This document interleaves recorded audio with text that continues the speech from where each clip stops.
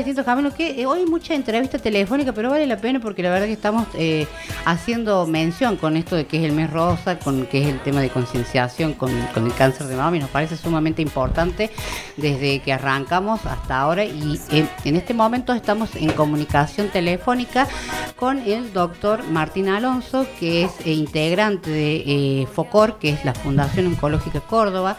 Él es médico, cirujano y especialista en oncología. ¿Cómo estás, Martín? Bienvenido a Distintos Caminos. Muchísimas gracias por la invitación. Eh, yo muy bien, pudiendo mm, difundir este tema de Córdoba Rosa, eh, que es el mes en el cual en todo Córdoba y en realidad en todo el mundo se hacen acciones eh, para, mm, digamos, en, contra la, en la lucha contra el cáncer de mama.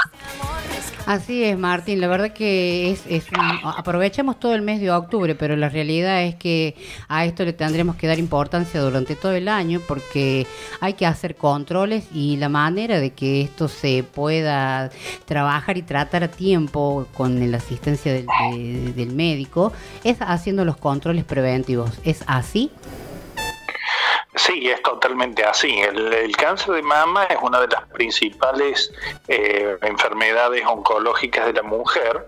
Em, em, de hecho, es la principal y la que lamentablemente tiene la mayor mortalidad de mujeres por cáncer. O sea que es una enfermedad que hay que eh, tener una gran atención. Pero la buena noticia es que desde hace ya bastantes años, digamos de unos 40, 50 años atrás, de ser una enfermedad eh, que una vez que se diagnosticaba tenía un curso malo, un curso eh, que a veces llevaba a la muerte, hoy eh, gracias a ciertas tecnologías se puede diagnosticar muy precozmente.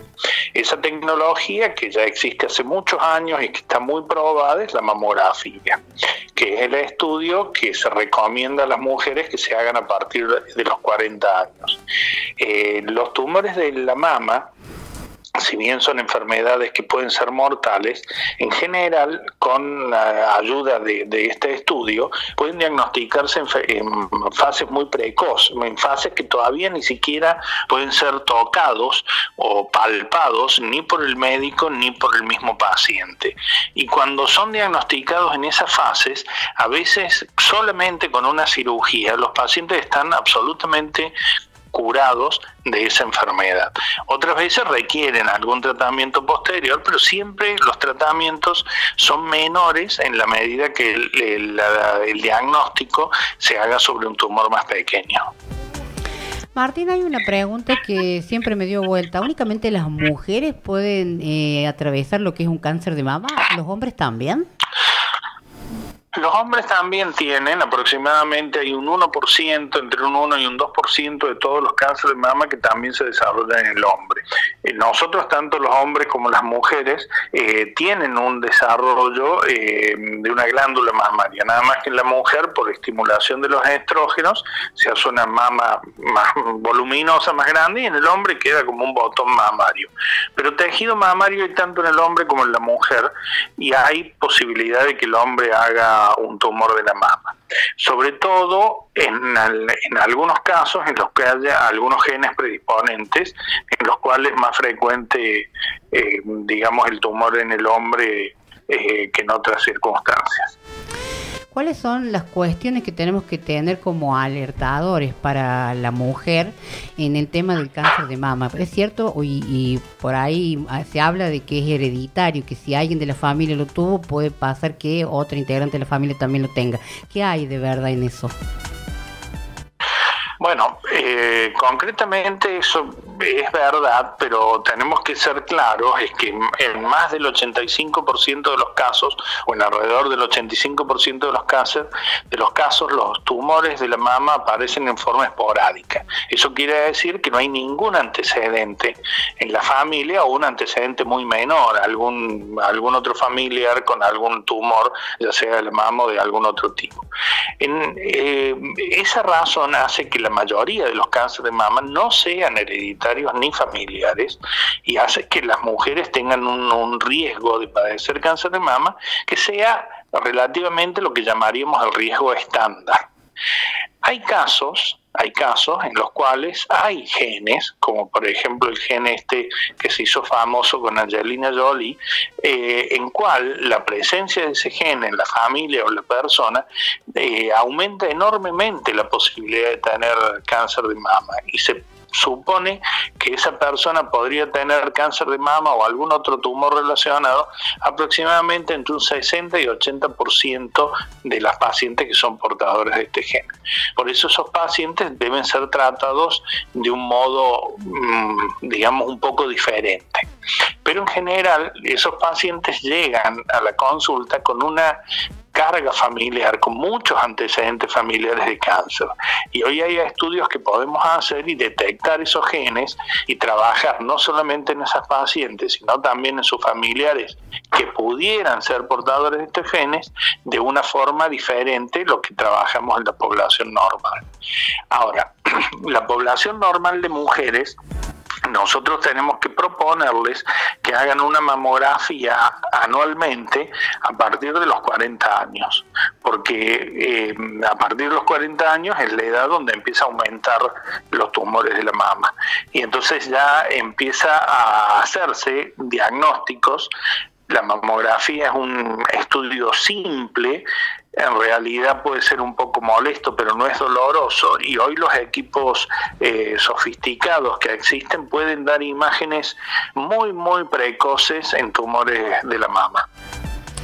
Bien, Martín, más allá de que una de las de, lo que podemos utilizar es esto de la mamografía y hacer un control anualmente a determinada edad, ¿cuáles son las otras eh, los otros eh, tips que pueden servir para la mujer para el diagnóstico de encontrarse alguna cuestión en el pecho? ¿Cómo, qué, ¿Qué otras cosas podemos encontrar que se puedan hacer desde nuestra casa antes de llegar a la consulta médica?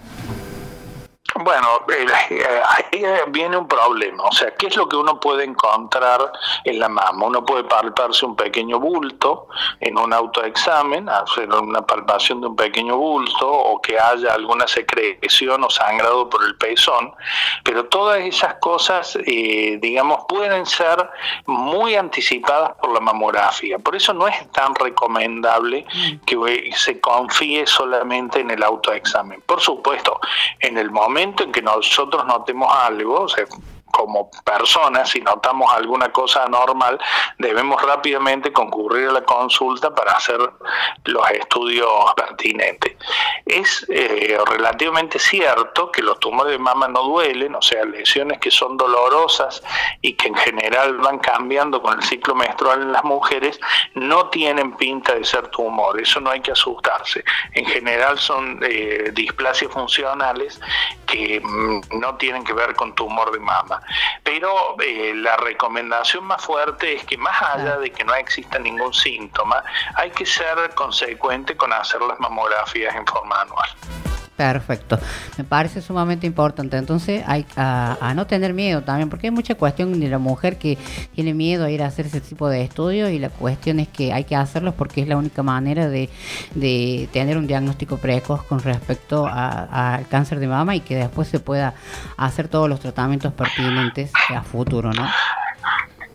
Sí, lo más importante en esto es que un tumor detectado por mamografía de menos de un centímetro tiene una chance de curación de por encima del 95%. Entonces creo que es eh, muy efectivo el método y lejos de tener miedo, lo que hay que tener miedo es de, llegar a un diagnóstico tardío, no de un diagnóstico precoz. Por eso es tan recomendable eh, hacer todo esto y por eso todas estas campañas, el Córdoba Rosa, todas las campañas que se hacen mundialmente, eh, tratando de eh, hacer que las mujeres tengan conciencia de hacerse estos estudios, eh, tienen tanta importancia, porque el impacto real que tienen estos estudios en la vida de, las personas que, bueno, que lamentablemente se les diagnostica, es muy, muy importante, porque es el hecho de, por ejemplo, un diagnóstico precoz hace que la mujer conserve el pecho, que no tenga un cambio en su imagen corporal, que no deba hacer quimioterapia, que a, veces, bueno, radioterapia en la mayoría de los casos se puede se hace, pero no deba hacer ningún otro tratamiento, o sea que el beneficio que obtiene por un diagnóstico precoz es muy, muy importante.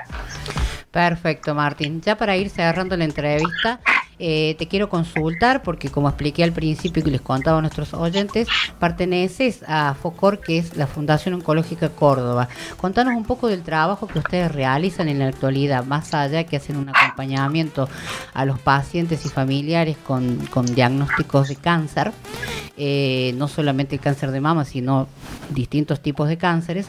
Eh, ¿Qué trabajo, cómo, qué actividades tienen ustedes en estos momentos realizando en la Fundación? Bueno, más allá de, algunas actividades que es como apoyar estas campañas y tener algunos talleres específicos, la actividad más importante que lleva la Fundación adelante es una escuela. Esta escuela, digamos, se diseñó, o mejor dicho, fue surgió como un pedido de, muchos pacientes, eh, siendo una escuela tanto primaria como secundaria, adscripta a la educación eh, oficial, o sea que tiene títulos oficiales y básicamente nació como una necesidad porque empezamos a ver dentro del sector público de salud que había mucha gente que tenía dificultades, no había terminado su escuela, no había terminado su primaria o muchas veces no lo había empezado y existía un cierto grupo de gente que no sabía leer ni escribir. Y eso era muy complicado para la salud de la gente. La escuela ya tiene eh, prácticamente 10 años, 9 años, y este año hemos tenido una matrícula de aproximadamente 200 alumnos eh, que están activos llevando sus clases. Esta escuela, digamos, una escuela para adultos, pacientes o familiares de los pacientes, que en estos últimos años ha abierto también a otros tipos de enfermedades crónicas, o sea, tenemos pacientes que también han surgido del Hospital Rawson y, de otros hospitales han llegado a la fundación y ahí han obtenido su título tanto de primaria como de secundaria. El año pasado tuvimos 30 egresados, lo cual fue un, número bastante alto a pesar de la pandemia y de tener que trabajar eh, eh, todo virtual.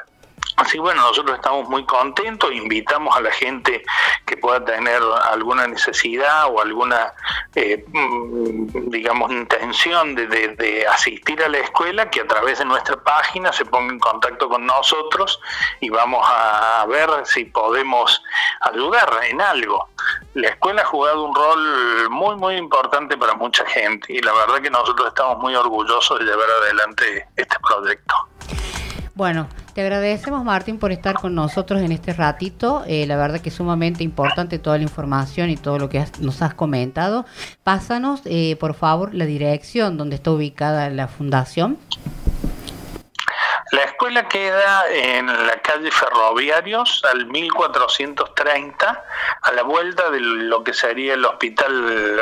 En la, calle Ferroviarios es la que separa el hospital Rauso del hospital de niños a media cuadra. Eh, pero lo forma más fácil de comunicarse a través de la página que es eh, www.focor.org. Eh, en esa página nos pueden dejar eh, mensajes y nosotros nos vamos a contactar con ustedes. Así que bueno, muchísimas gracias por la invitación y estaremos a disposición de las personas que puedan tener alguna necesidad que nosotros podamos ayudar. Muchísimas gracias, doctor Martín, y quedamos en contacto. Ha sido un gusto para distintos caminos contar con, con esta entrevista y bueno, eh, agradecerle infinitamente. No, por favor, muchas gracias a ustedes por poder difundir tanto sea el tema del cáncer de mama como la fundación. Muchísimas gracias. Gracias a vos.